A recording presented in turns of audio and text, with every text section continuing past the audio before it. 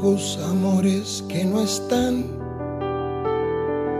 la ilusión de los que perdieron, todas las promesas que se van y los que en cualquier guerra se cayeron. Todo está guardado en la memoria, sueño de la vida y de la historia. El 24 es una fecha muy especial porque se la llama conmemoración de la memoria. Y cuando pienso en la palabra memoria, la memoria tiene una función en el ser humano que está siempre relacionado al campo de la experiencia. Es decir, memoria y experiencia. Cada vez que traigo algo a mi memoria, llega también la experiencia. Y en este caso hablamos de una memoria colectiva. De toda experiencia hay un aprendizaje. Por eso es tan importante esta fecha, porque la ciudadanía ha hecho un aprendizaje expresado en el nunca más. Nunca más aceptar un golpe de Estado. Nunca más el terrorismo de Estado.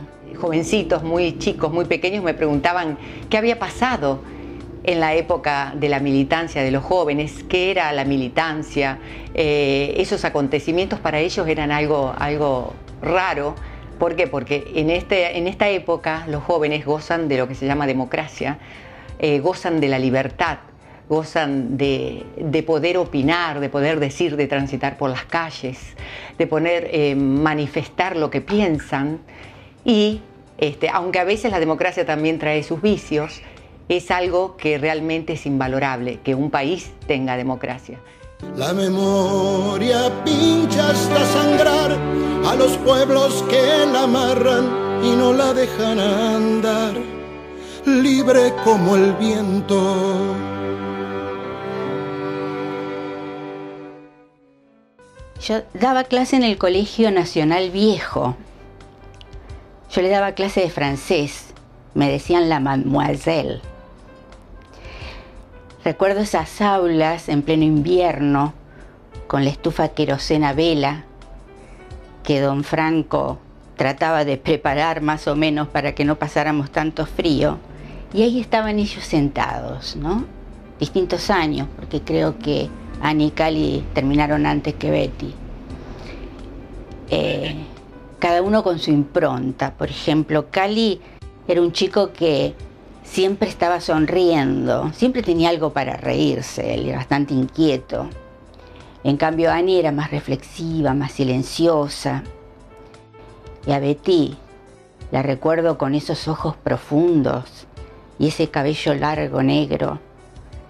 Y les tocó irse en una época muy difícil. Se fueron con sueños, en una Argentina silenciada y ávida de justicia y ellos se fueron quizás un poco con las palabras de Neruda o de Ernesto Cardenal, se fueron a luchar por sus ideales. Fueron jóvenes militantes, militantes de la intención de la transformación. La palabra militancia es una palabra que me gusta.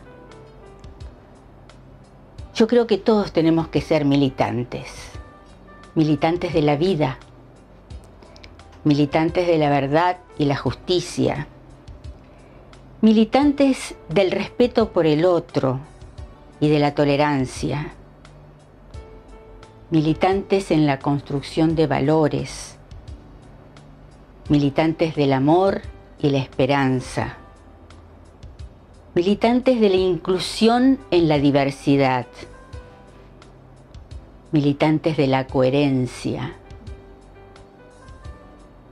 y sobre todo militantes del buen uso de la palabra, palabra que a veces está devaluada, palabras que se usan con mucha agresión y violencia, cuando la palabra tiene poder y la palabra es creadora de realidades. Tenía una profesora llamada Cledi Bertino, que era una profesora excelente, que me daba una materia que se llamaba literatura meridional y septentrional europea, y un día desapareció del aula. Ella iba lunes y martes, venía de Rosario a dar clase, y desapareció del aula y nos vino a decir el preceptor en ese momento que la habían detenido, la habían chupado, como se decía en esa época. Era una persona muy culta, tenía grupos de teatros independientes eh, y estaba conectada con la libertad realmente. Bueno, estos ideales que ella tenía la llevaron a estar detenida, a ser detenida. Estuvo 45 días sin venir a dar clase. Nosotros pensamos, ¿qué le habrá pasado a Cledy? La habrán matado, la han chupado, la sacaron. Era todo el comentario dentro de la cátedra, ¿no? ¿Qué había pasado? Pero después de 50 días la este, habían liberado y pudo volver a dar cátedra. Cuando llega, me llama, me dice, señorita Tejedor, puede venir este, tengo que hablar con usted. Eh, cuando se enfrenta a mí me dice, mira, ahora, este, cuando estemos solos te tengo que dar algo, pero tiene que quedar entre nosotros dos, porque esto está muy bravo, pero es una cuestión de vida o muerte. Cuando toca el timbre de cambio de hora, me quedo sola con ella y me da un papelito de cigarrillo, la parte metalizada del, cigarrillo, del, atado de cigarrillo, donde decía, mamá, papá, estoy viva aún. Bueno, ese mensaje era de una prisionera que estaba en la misma celda con ella y a la que no habían liberado. Era una prisionera que acá en Rufino le decían la China Borda. La China Borda que luchó por la patria, que luchó por sus ideales, que se jugó el pellejo. Ella estaba detenida. Los padres hacían como nueve meses que la estaban buscando por distintos lugares habían entrado a ese lugar donde ella estaba prisionera, que era un sótano en una celda de, la policía de, de Rosario, y ella por una endija veía los pies de papá y mamá, que entraban todos los meses a preguntar si la habían encontrado y si estaba allí, y allí decían que no. Ella veía los pies y los conocía de mamá muy cansada que iba pisando el borde de una canaletita donde había una endija y ella conocía que esos eran los pies de papá y mamá y cada vez más cansados. Su hermano me acuerdo que también decía voy a salir a buscar a mi hermana, voy a salir a buscar a mi hermana. Su hermano salió a buscarla, nunca más volvió. llego a la terminal de, de Rufino mi padre me va a buscar y yo le digo, tenemos que ir urgente, eran doce y media de la noche, el colectivo que llega de Rosario, tenemos que ir urgente a la familia Borda, a la casa de don Héctor Borda, tengo que darle un recado, no le dije nada a mi papá de qué se trataba. Llego, toco el timbre, esta gente estaba acostada. Y cuando llego les digo, mire, traigo un recadito, una noticia para ustedes. Bueno, ¿quién es? Le dije que mediante a conocer, abrieron la puerta y les entregué el papel no se pueden imaginar la emoción, la alegría, el agradecimiento de esos padres. Supónganse ustedes que un papá y una mamá como esas hubo 30.000. Pero un día que salgo de la facultad y voy a tomar el ómnibus, encuentro en un rincón al lado de una eh, venta de, de revistas una muchachita con carita de china, con cabello largo hasta la cintura, con un jean todo agujereado, con las zapatillas rotas en la punta fumando un puchito, temblando como una hoja muerta de miedo.